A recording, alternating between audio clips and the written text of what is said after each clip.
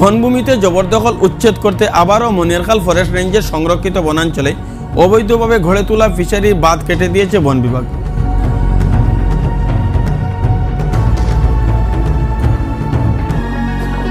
সোমবার পূর্বদলাইয়ের মোহনখাল রামমানিকপুর জিপি ও মনিয়ারখাল জিপির অন্তর্গত বনভূমিতে অবৈধভাবে গড়ে তোলা ছোট বড় কয়েকটি ফিশারির বাঁধ কেটে দেয় বনকর্মীরা।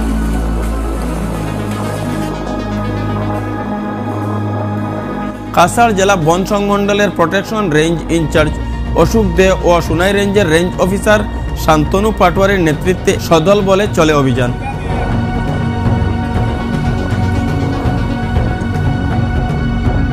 বাদ কাটার কাজে লাগানো হয় শ্রমিক। বিভাগের এই অভিযান প্রত্যক্ষ করতে ভিড় জমান স্থানীয় সাধারণ মানুষ।